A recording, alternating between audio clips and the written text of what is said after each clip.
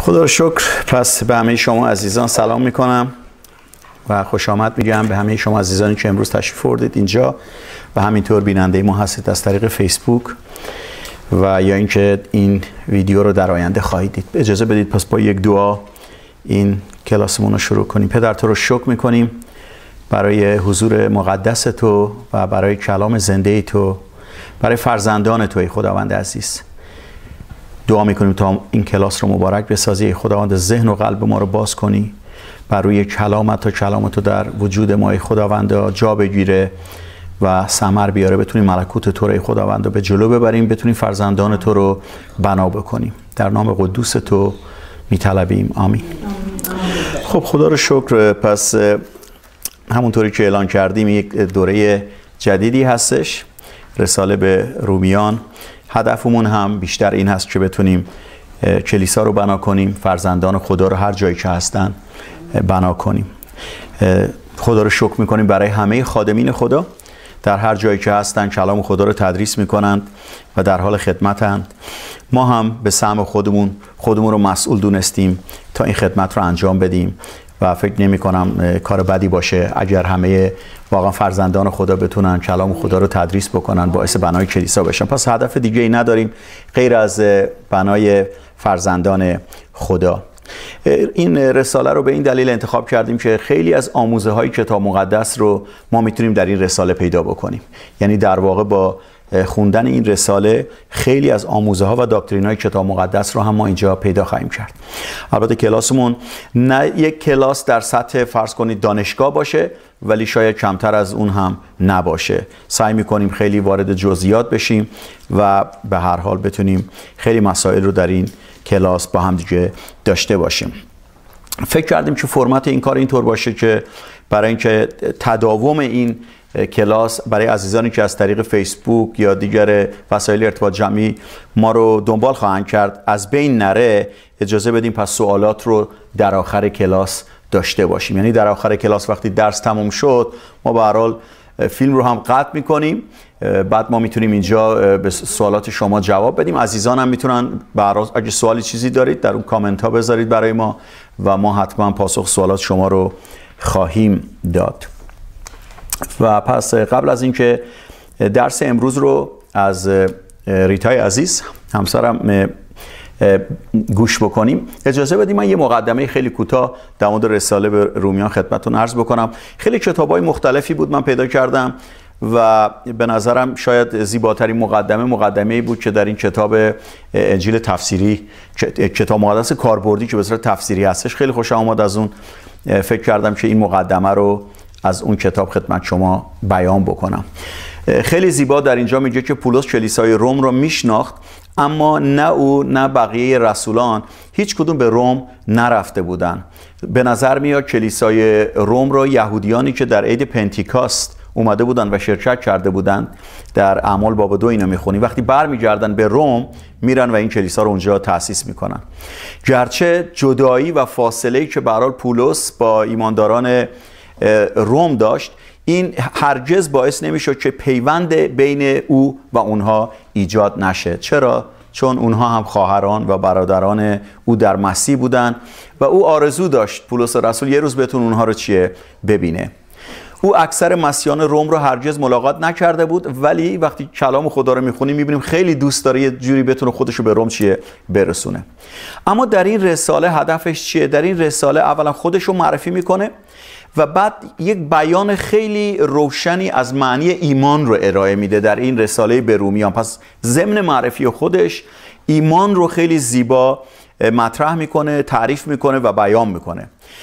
با یه مقدمه شروع می‌کنه. نه تمام رسالات در واقع با یه مقدمه خیلی کوتاه آغاز میشن و بعد حقایق انجیل رو شروع می‌کنه به بیان کردن. و وفاداری خودش رو نسبت به کلام خدا اعلان می‌کنه. چقدر عالیه نه؟ با یه مقدمه شروع می‌کنه حقایق رو مطرح می‌کنه اینا رو همه در باب اول می‌بینیم. بعد وفاداری خودش رو نسبت به انجیل اعلام می‌کنه. باب اول آیه 16 و 17 ما اینو می‌بینیم. بعد شروع می‌کنه کم کم این نامه رو بست میده توسعه میده و به مسائل خیلی مهم آموزه های خیلی مهم اشاره می‌کنه. از همون ابتدا اولا در مورد تباهی نسل بشر و لزوم دخالت الهی صحبتش رو ادامه میده. پس میگه نسل بشر در واقع تباه شده و لازمه که خدا در واقع وارد بشه و این تباهی رو از بین ببره. و چقدر عالی پولس انجیل رو معرفی می‌کنه و در مورد نجات وقتی صحبت می‌کنه میگه فیض خداست. ما به فیض خدا یعنی در واقع اون لطف الهی که ما مستحق و شایسته اون نبودیم فیض خدا شامل حال ما میشه. اونم از طریق ایمان به کار مسیح و باور کردن در واقع کار مسیح ما نجات پیدا می‌کنیم. و از طریق مسیح در خدا ما چی میشیم؟ عادل شمرده میشیم یعنی بیگناه محسوب میشیم. و بعد ادامه میده صحبتش رو در این رساله مستقیما به بحث درباره آزادی که در پی نجات حاصل میشه صحبت می‌کنه. پس میگه بعد از اینکه ما نجات پیدا کردیم یه آزادی های شامل حال ما میشه. اون آزادی ها رو یکی بعد از دیگری برمیشماره آزادی از قدرت گناه در باب ششم اینو می‌بینیم. آزادی از سلطه شریعت در باب هفتم اینو می‌بینیم. آزادی برای اینکه شبیه مسیح بشیم و پی به محبت نامحدود خدا ببریم این رو در باب هشتم می‌بینیم. و چقدر جالب. خیلی من خوشم میاد از ادامه این خیلی بیپرده خیلی رو راست و رک با خواهران و برادران یهودی خودش صحبت می‌کنه و می‌خواد بگه که شما در نقشه الهی چه جایگاهی دارید؟ شما اینو می‌تونید در باب 9 باب 10 و باب 11 تا آیه 12 ببینید. اینو نه بیشتر در مورد یهودیا صحبت می‌کنه و جایگاه اونها در این نقشه الهی. و می‌خواد بگه که خدا راهی برای یهودیان و غیر یهودیان فراهم کرده تا در بدن مسیح با هم متحد بشن یکی بشن. پس به این ترتیب هر دو گروه می‌تونن خدا رو برای حکمتش و محبتش چیه؟ بپرستن. اینو در ادامه باب 11 می‌بینیم. پولس رسول در ادامه توضیح میده که معنای زندگی کردن در تسلیم کامل به مسیح یعنی چی؟ خیلی از مواقع ما واقعا نمی‌دونیم. منظور کلام خدا از زندگی کردن در تسلیم کامل یعنی چی؟ توضیح میده اینو برای ما و بعد تسلیم کامل رو استفاده از عطایای روحانی برای خدمت به دیگران برمیشماره محبت بیریا به دیگران شهروند خوب بودن و بعد ادامه میده آزادی ما باید با محبت همراه بشه. این خیلی اهمیت داره تا تا چی بشه؟ خیلی مهمه چرا باید آزادی ما همراه با محبت باشه؟ چون وقتی ما آزادیم ممکنه هر کاری که دوست داریم بکنیم. ولی وقتی با محبت باید همراه باشه انگار یه چیزی جلوی آزادی ما رو یه جورایی چیه؟ می‌گیره ما رو کنترل می‌کنه تا چیکار کنیم؟ تا یکدیگر رو بنا بکنیم. ببینید اگر آزادی توام با محبت نباشه در واقع پس ایمانداران می‌تونن همدیگر رو له, بکنن؟ شاید بعضی مواقع این کارو می‌کنن در همین زمان حاضر ولی وقتی با محبت همراهه اون وقت ما یکدیگر رو بلند می‌کنیم یکدیگر رو بنا می‌کنیم به ضعفا اهمیت میدیم و به کمک ایمانداران ضعیف میشتابیم. پس پولس خیلی تاکید روی اتحاد داره به خصوص اتحاد بین یهودیان و غیر یهودیان ما این رو می‌تونیم در باب 15 هم ببینیم.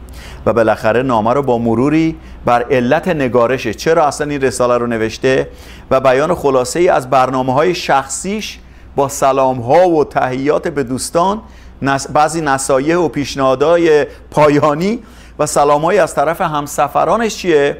خاتمه میده. و ما هم مقدمه رو همینجا خاتمه میدیم و فرصت رو میدیم به خواهرمون ریتا بیاد بشینه اینجا و درس امروز رو از ایشون خواهیم شنید. خدا برکتتون بده. بفرمایید.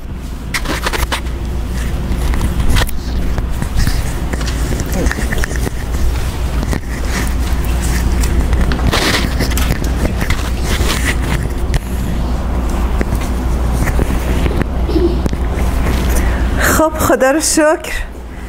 به همه شما خوش آمد میگم دوستا خواهرای عزیزمون مدت ها ندیده بودیم همدیگر رو. تو یک جلسه نبودیم.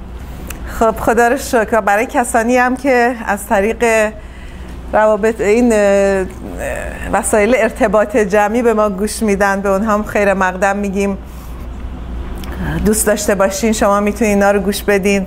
بعدا هم نه اینکه به صورت live هست بعدا هم می‌تونید گوش بدید خدا رو شکر. که می‌خواستم یکی دو تا نکته رو اول که می‌خوایم این درس رو شروع بکنیم.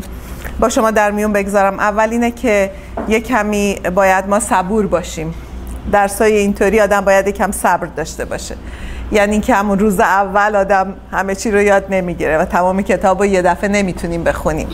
پس باید کم صبر داشته باشیم و اینکه از این فرایند یادگیری خودمون لذت ببریم. نه اینکه بگیم ای کتاب رو تموم کردیم. چون من بچه بودم می‌خواستم این کتاب زود تموم کنم. introduction یعنی مقدمش رو اصلا نمیخوندم. بعدش از فصل دوم شروع می‌کردم به خوندن داستان. و بعد از اینکه کتاب تموم شد برمیگشتم مقدمه رو میخوندم. به خاطر اینکه اونقدر اشتیاق داشتم ببینم چه اتفاقی میفته اون مقدمه رو نمیخوندم. مقدمه که برای این کتاب بخوایم ما بگیم خیلی مقدمه طولانی تری از این بود.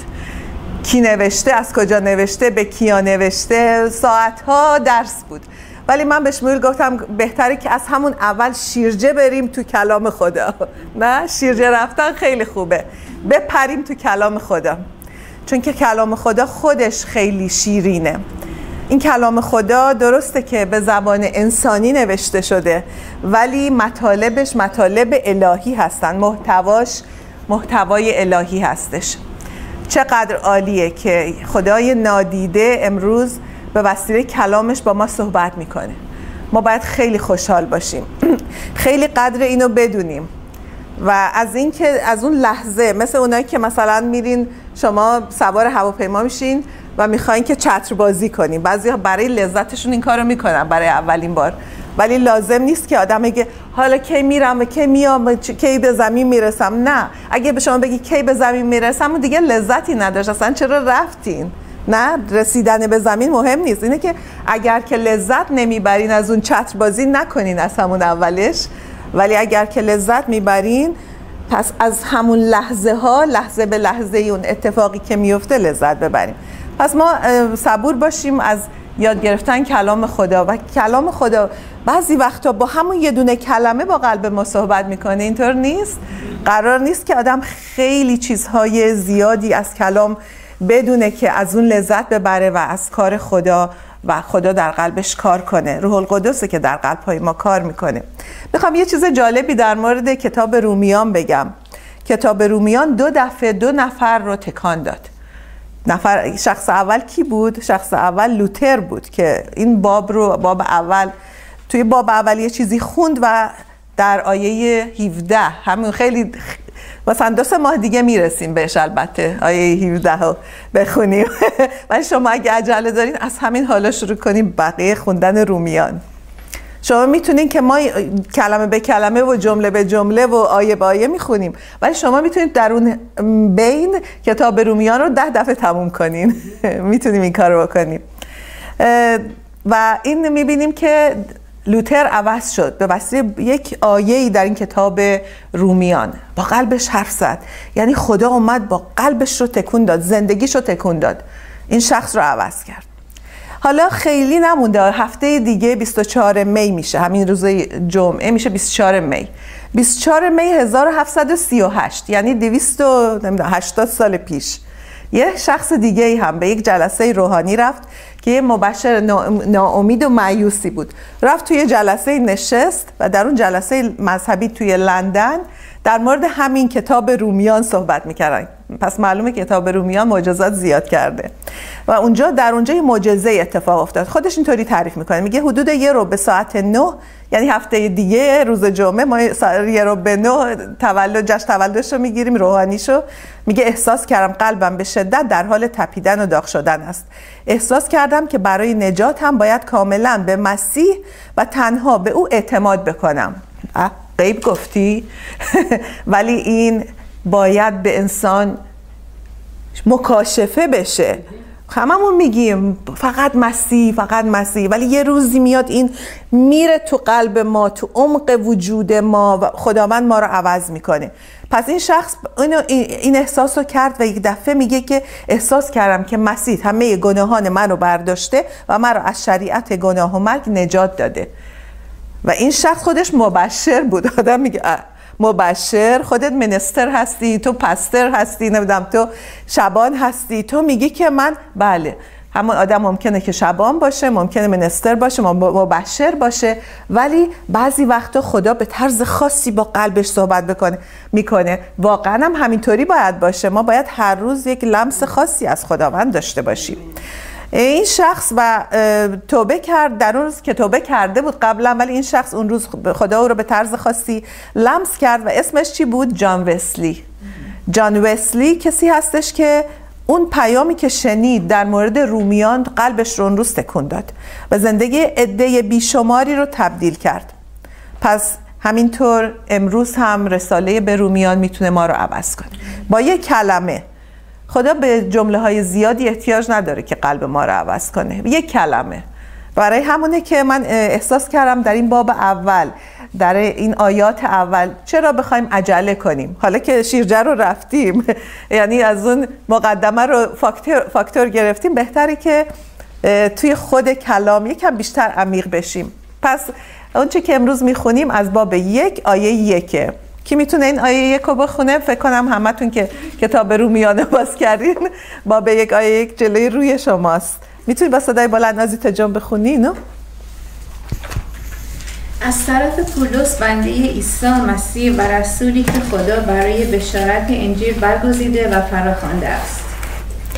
خب این آیه اول در مورد چیه؟ در مورد اعتبار پولسه پولس می‌خواد بگه من آدم معتبری هستم. شما به یه نفر نامه می نویسید نه به یه نفر به یه کلیسا دارید نامه می نویسید نه به یه قوم جدیدی نامه می نویسید که به مسیح ایمان آورده. باید خودتون رو معرفی کنین اینجوری نیستش.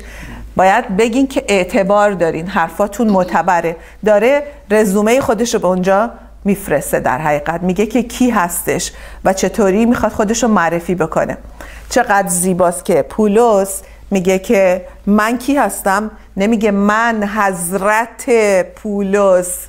نمیگه من شاگرد مسیح کسی که مسیح با بر من ظاهر شد. چی میگه اون اولش؟ یک از یک کلمه استفاده همش یک کلمه است. میگه من کی هستم؟ من غلام. ریگه دفعه آشوری میگه. میگه که نوکر. حالا اینی کلمه ای که به کار رفته به عنوان آشوری میگیم نوکر پیش خدمت خیلی بار سنگینی نداره. خب همه می‌تونن نوکر هم دیگه باشن ولی غلام خیلی با نوکرم فرق می‌کنه. اینجا پس به طور کلی می‌خواد بگه در این آیه که هیچ کس پیرو واقعی مسیح نیست مگر اینکه بتونه بگه که عیسی او را به غلامی خریده است. این فقط برای پولس نیست یعنی برای همه ما هست هیچ یک از ما نمی‌تونیم بگیم که واقعا پیرو مسیح هستیم مگه اینکه غلام مسیح هم باشیم. و من دیروز فکر می‌کردم چقدر منو تکون داد. این کلمه غلام. ریتا تو چه غلامی هستی؟ من از روزی که به مسیح ایمان آوردم 15 ساله بودم الان 55 سالمه. 40 سال به مسیح ایمان آوردم. و همیشه هم در خدمت خدا بودم. و از خودم پرسیدم چقدر شرمنده شدم. گفتم چه غلامی؟ من چجوری غلام بودم؟ ولی چقدر معنی زیبا این داره. میگه که در حقیقت غیر ممکنه شخص متعلق به مسیح باشه مگر اینکه عیسی او را غلام و کنیز خود خریده باشه. این پیغام تکان دهنده است که پولس می‌خواهد به ایمانداران روم برساند. پس اینجا بهش میگه که میگه که او غلام مسیح بود. دومی چیز در همون آیه یک میگه رسول خدا بود. پس اول میریم سر غلام. غلام یعنی چی؟ غلام یا نوکر به زبان یونانی اینجا دولوس گفته میشه. دولوس یعنی یه نوکر یا غلام عیسی مسیح. این کلمه نوکر یا غلام به زبان یونانی به معنی امروزی با پیش خدمت و نوکر فرسنگ ها فاصله داریم. به معنی غلامی که به طور کامل و مطلق در اختیار صاحبش و جزو دارایی صاحبش و اربابش هست. یعنی که یک بخشی از دارایی او به شما میره یعنی مال خودش به هیچ وجه نیستش. صد درصد متعلق به صاحبشه. یک عهد بندگیه. یعنی با عهدی که میبنده خب تو اون دوره هزاران غلام و کنیز در بازارهای برده روم خرید و فروش می شدن و اونجا رومی ها می دونستن یعنی غلام یعنی چی. برای رومی ها مثل ما ما سالها با, غلامی و کنیزی فاصله داریم. حداقل در طول عمر خودمون شاید ندیدیم امیدوارم نبینیم که غلام کسی رو بخرن و بفروشن خدا رو شد که نخریدن و نفروختن ما رو. ولی رومی ها می‌دونستن غلام یعنی چی؟ یعنی کسی که توی بازار بردگان فروخته میشه. و این نفر میره اون قیمتی می‌پردازه و اون رو می‌خره و دیگه مال خودش نیست اون شخص. و دیگه حتی خانواده ها رو خانواده خودش هم نداشت می‌دونید؟ پدر و مادر از هم جدا می‌کردن بچه ها رو از اونا جدا می‌کردن. هر کسی به تنهایی فروخته می‌شد. یعنی دیگه مال خودش نبود هیچی. مال خانوادهش هم نبود. مال قومش هم نبود. می آوردن و میفروختنش. اینجا خودش داره میگه که من غلام عیسی مسیح هستم. یعنی احساس می‌کنه که مسیح در بازاری او رو خریده با قیمتی و دیگه داره برده برای خودش. و انگار این یک حالت دو, دو طرفه هم داشته یک عهدی بوده بین او چون که پولس آدم آزادی بوده که آدم گناه آدم غلامی نبود که شخص آزادی بود. ولی وقتی میگه من غلام مسیحم یعنی میگه مسیح با من عهد بس قیمتی برای من. پرداخت کرد و امروز من غلام عیسی مسیح هستم. پس اولین خصوصیت این که در مورد غلام وقتی نگاه می‌کنیم اینه که به اربابش تعلق داره و پولس همینو در نظر داره. مسیح بهش نگاه کرد. نه اینکه او به مسیح نگاه کرد مسیح به پولس نگاه کرد و دید که چقدر محتاج و خار هستش. و وقتی که به پولس نگاه کرد عالی ترین اتفاقام افتاد. خداوند وقتی به ما نگاه می‌کنه و شکستگی ما رو می‌بینه احتیاج ما رو می‌بینه مسیح میگه بهش علاقه من شد. همونطور که به پولس علاقه من شد و او را خرید. به ما علاقه من میشه به این ترتیب اکنون پولس متعلق به مسیح بوده. دومین چیز در مورد غلام اینه که غلام به خاطر ارباب خودش وجود داره نه هیچ دلیل دیگه ای فقط به خاطر اربابشه. حقوق قانونی نداره. برای پولس هم همینطور بود. فقط به خاطر مسیح زنده بود و حقوق اجتماعی نداشت. پس برای همینه که وقتی پولس رو می‌زنن و اذیتش می‌کنن و فوشش میدن و در زندان می‌گذارن خیلی ناراحت نمیشه نه؟ میگه من که غلامم. حقوقی ندارم. چطور از کی انتظار داشته باشم؟ غلام که انتظار نداره. از کس دیگه ای غلام از کی انتظار داره فکر می‌کنین از اربابش قراره براشی کاری بکنه. نه از دیگران. سومین چیز در مورد یه غلام اینه که باید ارباب خودش رو خدمت کنه. تنها دلیلی که یه نفر غلام می‌خره اینه که چیکار کنه؟ براش خدمت کنه. او در اختیار و در دسترس صاحب خودش بود. شب و روز در خدمت اون باشه. همینطور که پولس هم برای خدمت عیسی فقط زندگی می‌کرد. چهارمین چیز اینه که غلام اراده ای از خودش نداره. مطیع اراده ارباب خودشه. این اون جنبه رو دیگر رو نشون میده که خالی از جاه طلبیه. مطیع اراده ارباب و خالی از جاه طلبی. تا حالا شده که یه غلامی بگه که من می‌خوام ارباب بشم یا منو بکنید نخست وزیر؟ نه. وقتی که یه نفر غلامه قراره که به غلام به ارباب خودش خدمت کنه. او هم از هر جهت مطیع اراده ارباب خودش بود. به نظر شما با این رزومه کی می‌خواست که پولس رو استخدام کنه؟ خوب این رزومه؟ الان که می‌خوایم ما رزومه بنویسیم میام چیزای خوب خودمون رو زیاد می‌نویسیم از خودمون تعریف می‌کنیم. اینجا چی میگه پولس؟ میگه من غلام عیسی مسیح. تو کی هستی؟ به جای اینکه میگه من سرلشکر پولس یا من نخست وزیر پولس شاگرد مسیح من اسقف ام اعظم من یاد گرفتم در مکتب قمالائیل من فلان و بهمان. اینجا به جای اون بگه میگه من غلام. غلام عیسی من. عجب رزومه هیچ که به پولس کار نمی‌داد تو این دوره زمونه. ولی پولس اونجا می‌دونه که داره چی میگه. می‌دونه که داره در مورد کی صحبت می‌کنه. نمی‌خواد در مورد خودش حرف بزنه نه؟ بیشتر وقتا ما می‌خوایم در مورد خودمون حرف بزنیم. ولی اون می‌خواد بگه که پشت من کی وایستاده.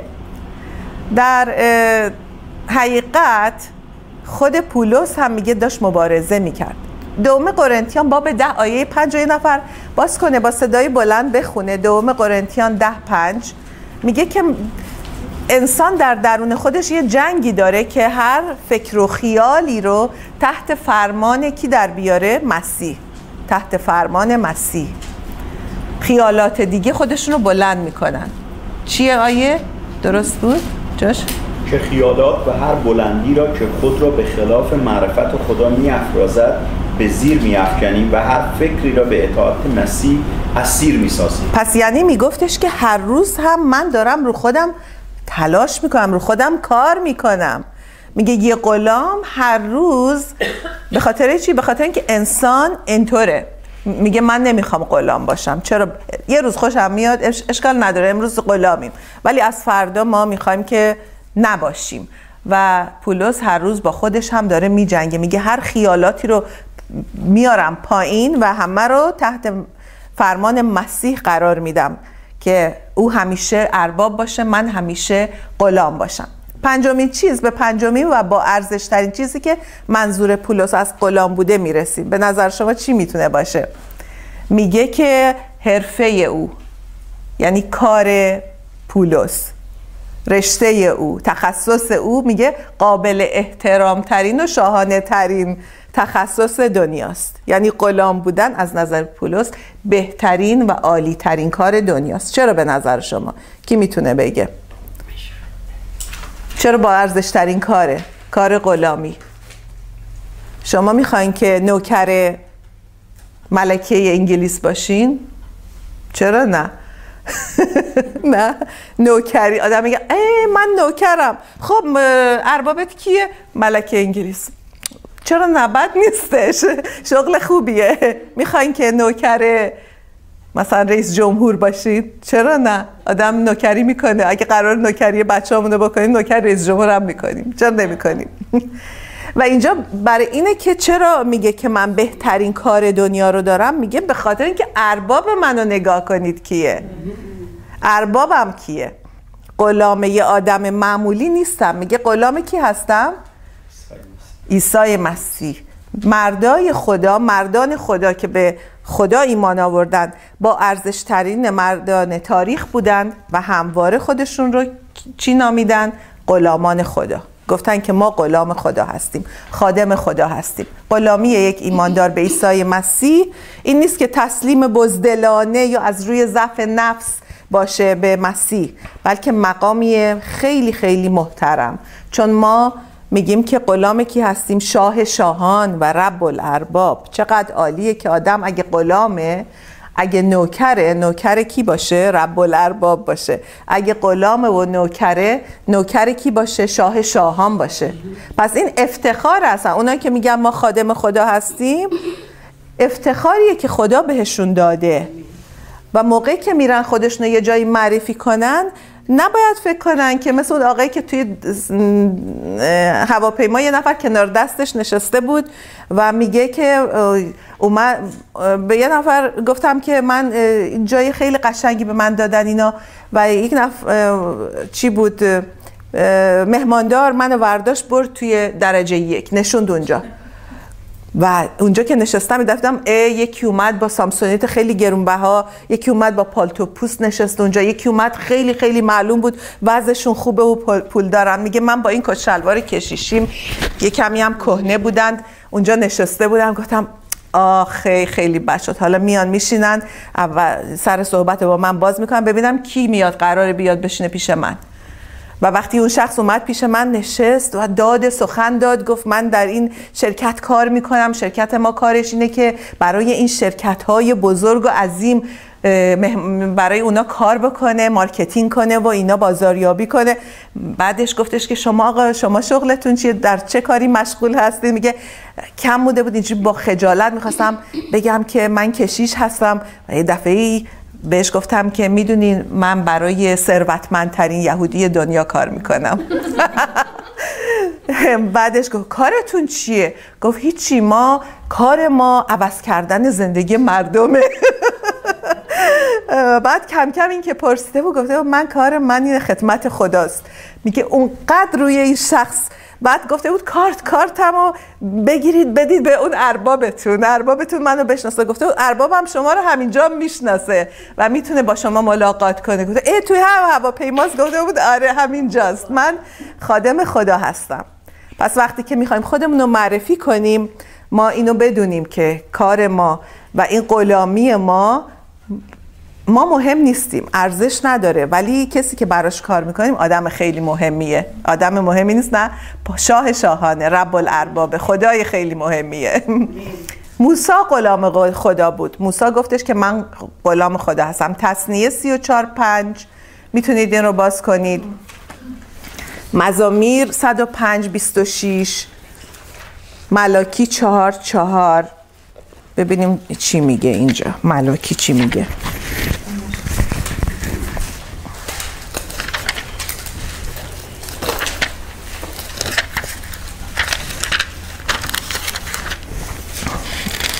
من خوندم این آیه ها رو ولی الان کنجکاوم ببینم این ملاکی اینجا چی میگه. میگه تورات بنده من موسا را که آن را با فرایز و احکام به جهت تمام اسرائیل در حوریب امر فرمودم به یاد آورید. تورات بنده من یعنی غلام من موسا رو. خدا میگه. به به. چقدر خوبه که خداوند هم ما رو به غلامی قبول کرده باشه. اسم ما رو به یاد داشته باشه. تصنیه 34 5 رو کی باز کرده؟ بنابراین موسی. خدمتگزار خداوند. چنانچه خداوند گفته بود در سرزمین موعد درگذشت. تصنیه 34 5 چقدر قشنگ؟ بنده خدا. مزامیر 105 26 اینو کی باز کرده؟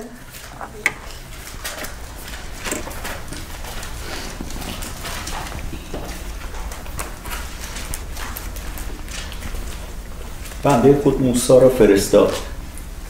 بله. بنده خود موسی را فرستاد. یوشع هم غلام خدا بود. تو یوشع 24 29 می‌خواین نخونید اینا رو بعدم بهشون مراجعه کنید.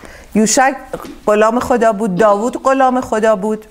پولس غلام عیسی مسیح بود. توی رومیان یک یک میگه فیلیپیان یک یک تیتوس یک یک. یعنی در تمام این نامه ها خودش رو به اسم غلام عیسی مسیح معرفی می‌کنه.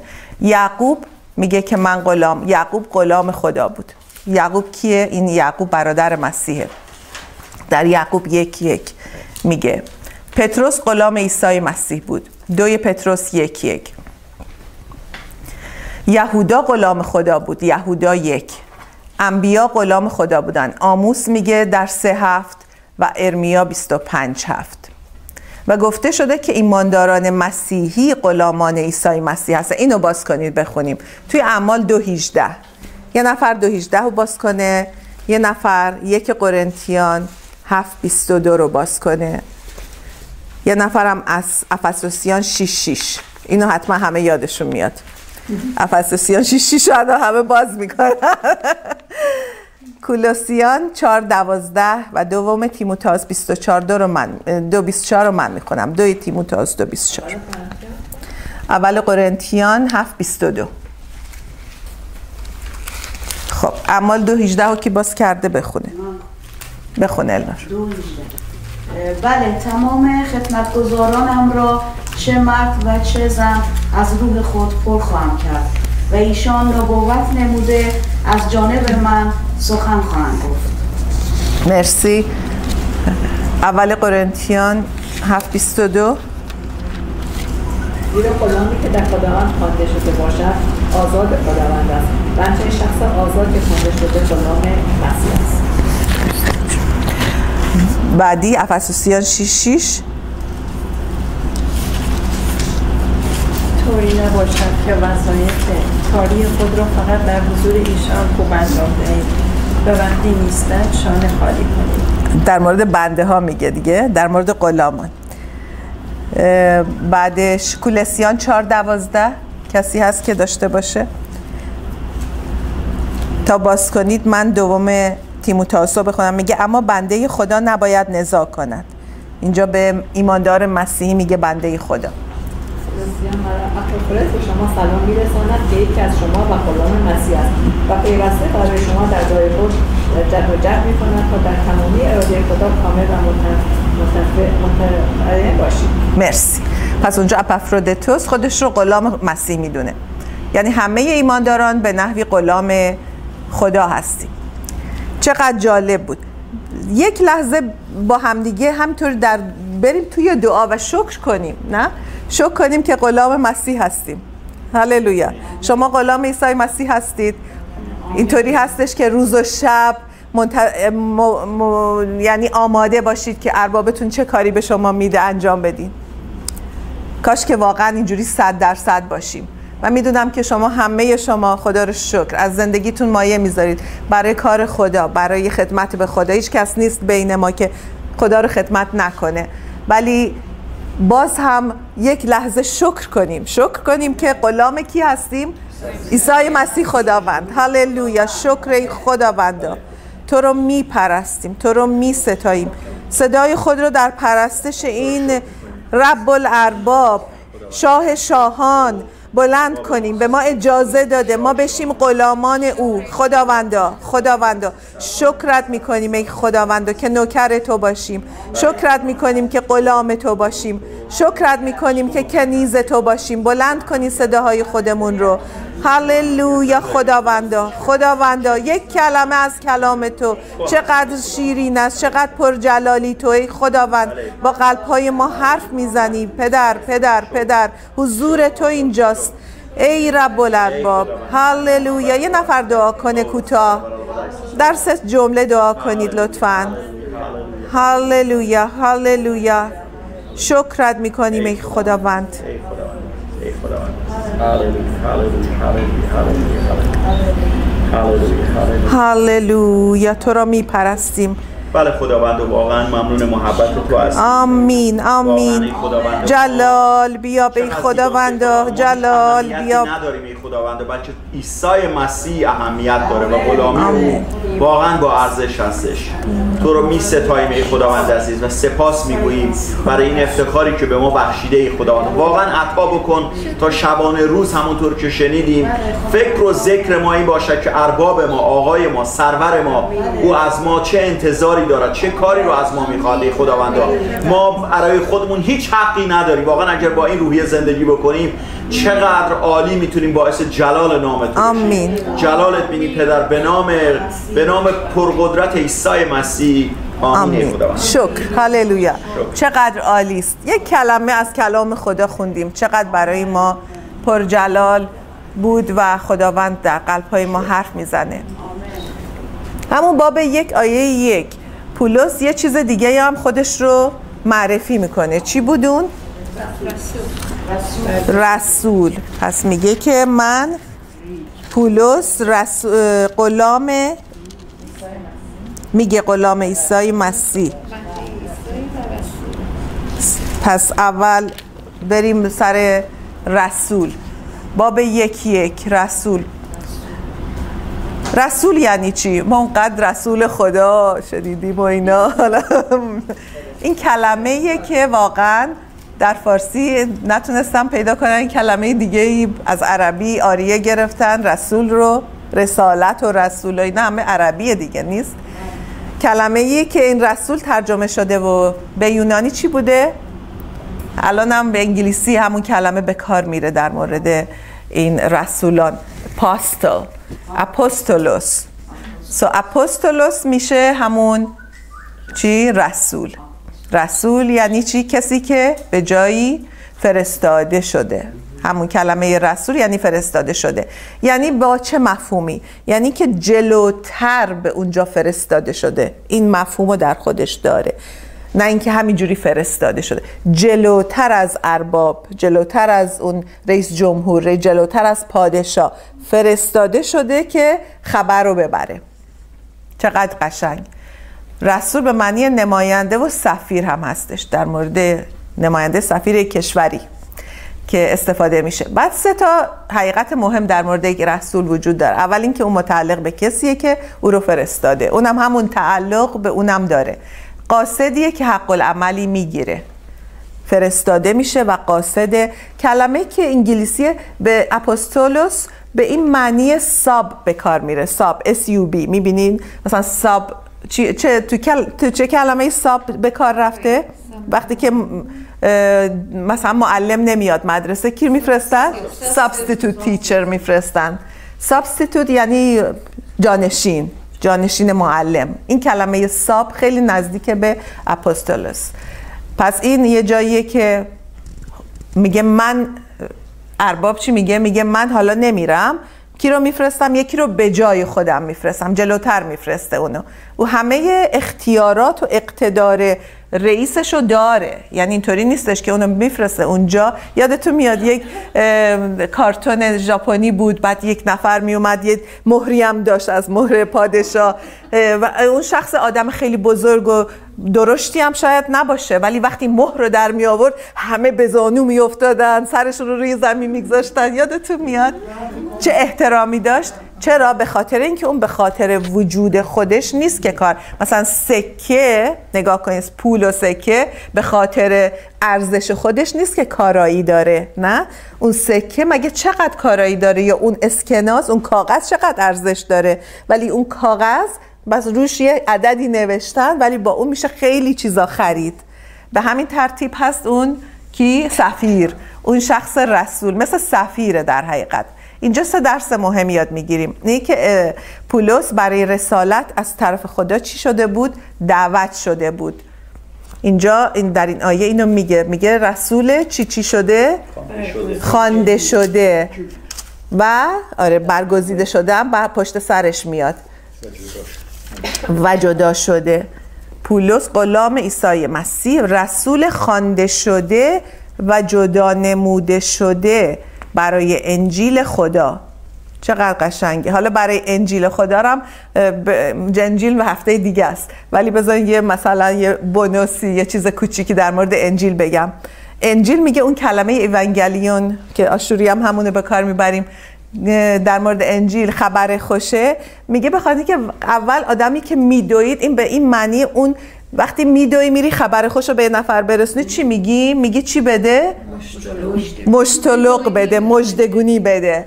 پس این مشتلق و مشتگونی مثل ترکی مشتلق بعد از یه مدتی به معنی چی شد؟ خبر خوش خودش شد مشتلق.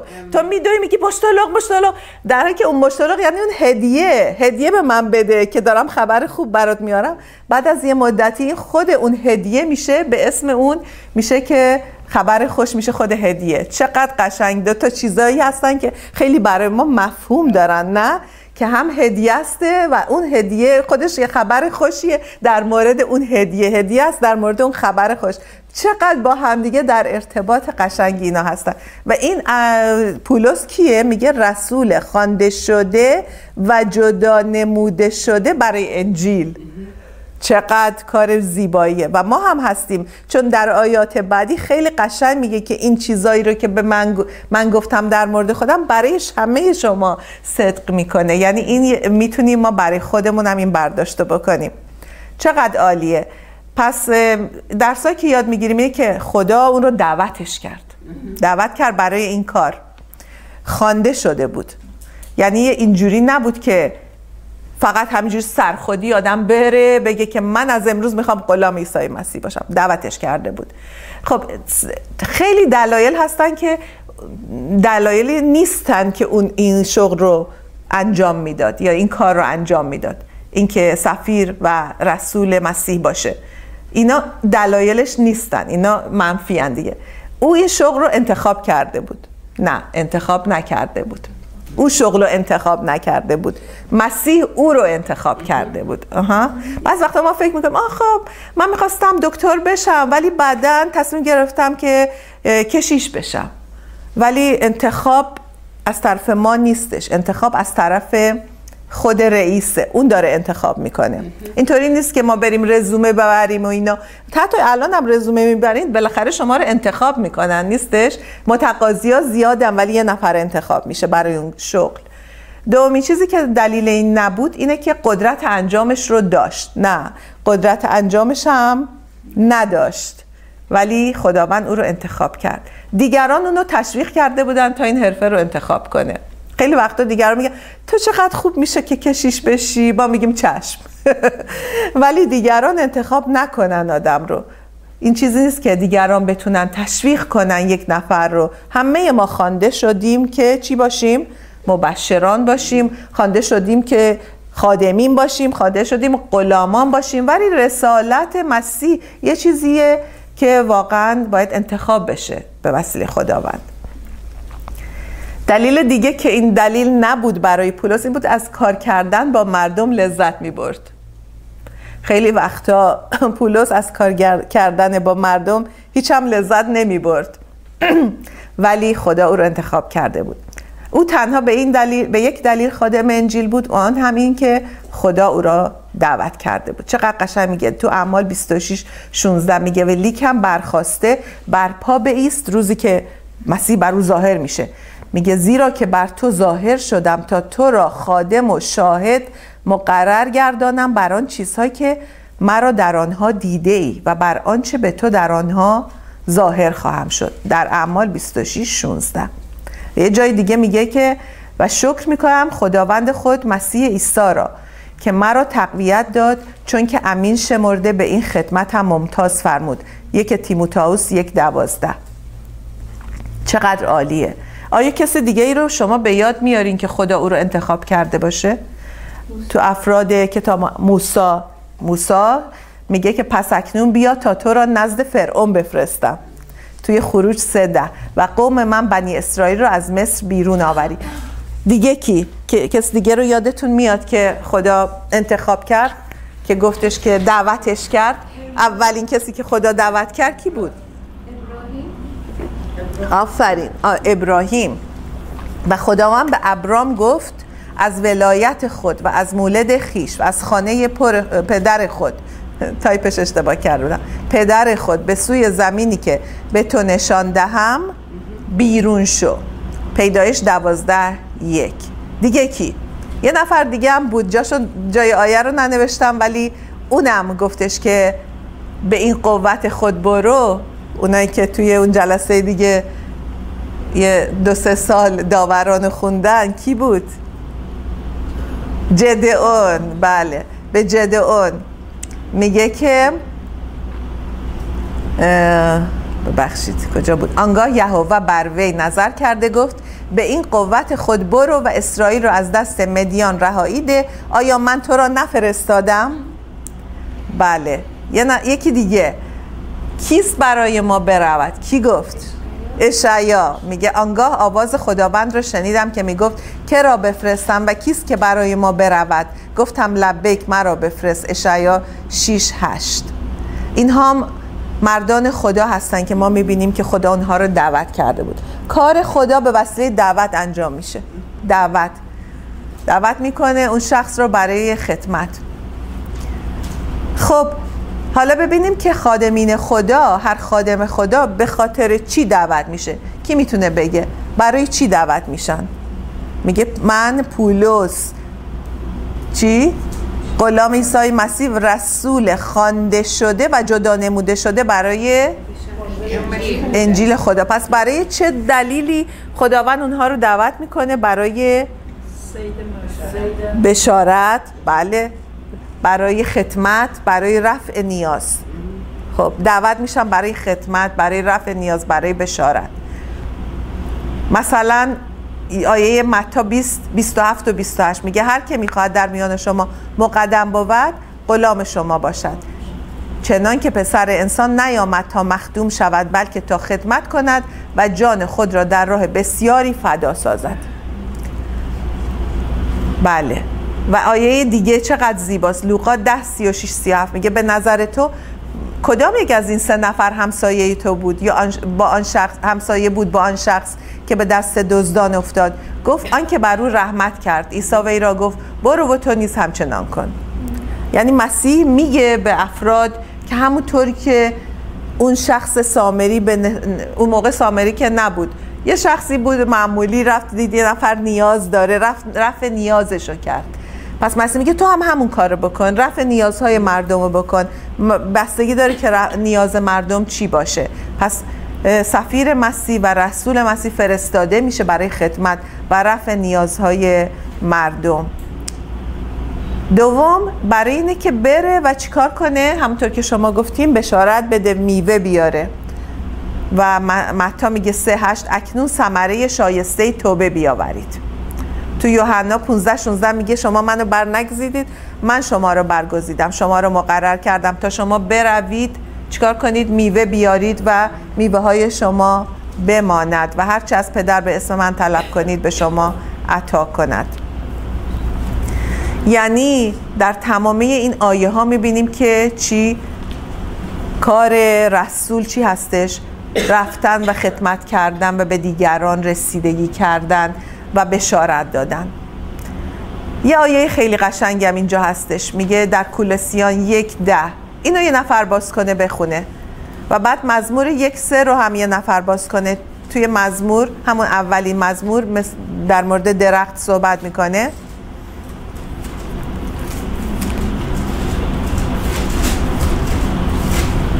میگه که کولسیان یک ده. مزمور یک سه. و مزمور 92 آیه 13 رو من می‌خونم اینجا نوشتم. تا به این ترتیب زندگی شما همواره مورد پسند خداوند و باعث جلال او باشد و همیشه به انجام اعمال نیک مشغول باشید و هر روز خدا را بهتر بشناسید. مرسی. مزمور؟ پس مثل درختی نشانه نزد نهرهای آب خواهد بود که میوه خود را در موسمش می‌دهد و برگش پژمرده نمیگردد و هر آنچه می‌کند نیک انجام خواهد بود. مرسی. و مزمور 92 آیه 13 آنانی که در خانه خداوند غرس شدند در صحنهای خدای ما خواهند شکفت. بیاین برای همین دوباره خداوند رو شکر کنیم. چی شد؟ پولس خوانده شد تا رسول باشه. که خادم خدا باشه دعوت نشده بود که منصبی رو اشغال کنه یا ریاست کنه یا مردم بهش احترام بگذارن.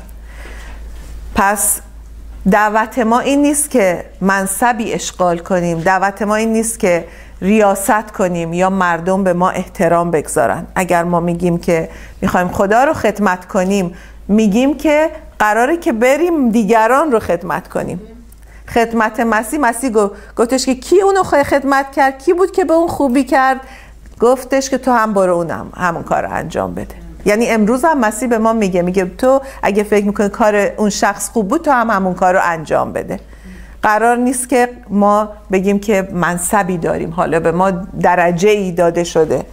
روی شونه های ما گذاشته شده. اون درجه از اون درجه که اونقدر سنگین آدم میره پایین. نه. اون درجه که به وسیله مسیح داده میشه سنگینه. پس شکر کنیم و دعا کنیم برای رسول بودن برای اینکه خدا ما رو فرستاده همگی ما رو فقط نه پولس رو همه ما رو فرستاده تا رسول مسیح باشیم. یعنی اینکه چیکار بکنیم؟ نماینده از طرف خودش فرستاده به ما اختیارات داده که ما قراره بریم و هیچی نگیم غیر از اون چی که اون به ما میگه. نه؟ اونی که میره به ما اختیار کامل اقتدار کامل داده شده اونم جرأت نمی‌کنه که یه چیز دیگه ای بگه نه؟ یا انتظار دیگه از مردم داشته باشه. اون چیزی رو میگه و اون چیزی رو می‌کنه که رئیسش برای اون کار اونو فرستاده. کشورش برای اون کار اونو فرستاده. دعا کنیم. شکر کنیم. واقعا دعا کنیم و باز از یکی دو نفر می‌خوام که یه نفر باشه که در دو سه جمله هللویا. شکر ای خداوند. رسول انجیل. ای خداوند. شکر. می‌کنیم. انجیل خدا. هللویا. رسول انجیل خدا هستیم. چه کلمات عظیمی خداوندا. هللویا. چه کلمات عجیبی. خداوند شکرت می‌کنیم. شکرت می‌کنیم. جلالت می‌دهیم ای خداوندا. ای پدر. شکر. شکرت می‌کنیم برای حضور تو برای وجود تو برای کلمات خداوندا کتاب تو. شکرت می‌کنم. اینها از سوی تو هستند خداوندا. هللویا. با قلب ما حرف می‌زنن قلب ما رو لمس می‌کنن. حضور تو در این لحظه اینجاست خداوندا. تو میخوایی که کلامت رو بفرستی و ما را شفا ببخشی. هللویا. اگر کسی مریض است خداوندا کلام تو می‌تواند شفا بدهد ای خداوندا. نه اینکه کلام تو رو رو سرمون بذاریم یا تو قلبمون ب... یا روی سینمون بچسبونیم یا رو- اون کاغذها رو نگاه کنیم. نه خداوندا.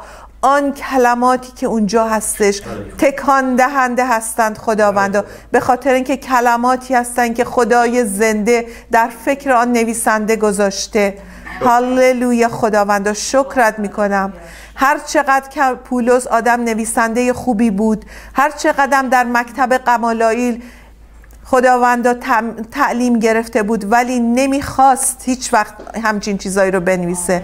آن سولوس هیچ وقت این جملات رو نمی نوشت خداوندا ولی پولس اینها را نوشت به خاطر اینکه تو به او دادی تو به او دادی مأموریت رو تو او را انتخاب کردی تو او را فرستادی. شکرت می‌کنم امروز می‌تونی ما را هم بفرستی. هاللویا. شکرت می‌کنیم. آزیتا جان شما دعا کن. شکرت می‌کنیم ای خداوندا. خداوند تو رو شکر می‌کنیم. به خاطر عیسی مسیح که چون در صورت خدا بود با خداوند برابر بودن رو غنیمت نشمرد بلکه آمین. هللویا. هللویا خداوندا. تا به ما نشان بدهد که هر کس که خودش رو فروتن بکنه هر کس که در حضور خدا فروتن باشه خدا اونو سرفراز می‌کنه. و چه سرفراز بودنی که ما در حضور تو داریم ما غلامان و کنیزان بیمنفعت تو هستیم ولی تو در وقت معین ما رو سرفراز خداوندا. تو رو شکر می‌کنم. جلال همش از آن تو هستش. همانطور که گفتم ما کنیز بیمنفعت هستم. کنیزی که از خودش هیچ خدا شکر. لیاقتی نداره از خودش هیچ شایستگی نداره هیچ نوع توانایی نداره بلکه تمام تواناییش از آن اربابش هست. و ما مثل اون بند کنیز هستیم که همیشه چشمانش به روی خاتون خودش هست. چشمان ما به حضور تو هست. به حضور آمین، خدای آمین، خداوند. بله. ارباب اربابان هست. خدایی بله بله بله. شاه شاهان است. ما به. تو چشم دوخته ایم. ما به تو چشم دوخته ایم و هر چه که تو بخواهی هر جا که تو بگویی برویم برویم. خداوند هر چه که تو. بخواهی انجام بدهیم آمین هر چه که تو بگویی بگوییم. خداوند هر چه که تو در فکر ما بگذاری فکر کنیم. کلام تو رو بخوانیم. که کلام تو همان خوندن کلام تو همان دانستن فکر توست خداوند شکر. تو رو شکر می‌کنم چه مقامی به ما دادی بله، در حالی که. بنده تو هستیم کنیز و غلام تو هستیم ولی خداوندی داریم که مالک همه چیز هستش شکر. و ما از طرف آمین. بله، انتخاب خداوند. که اقتدار به ما داده شده شکر خداوند و میوه بیاوریم و میوه ما بماند ای خداوند. و آمین ای خداوند. تو رو شکر. می‌کنیم ای و خداوند. تو رو. جلال میدیم با تمام وجود میگیم که. همه شایستگی لیاقت از آن توست آمین ای و نیست خداوند خدایی چون تو و نخواهد بود تو لیاقت داری تو شایسته هستی. در نام عیسی مسیح تمام این تشکرات قلبی ما رو بپذیر. آمین. ای خداوند. شکر ای خداوند. پس با همین دعا به جلسه خودمون پایان میدیم و شکر می‌کنیم و کسی که کسایی که میشنوند با شما هم همگی خدافزی می‌کنیم. تا هفته بعد. خدا نگهدارتون.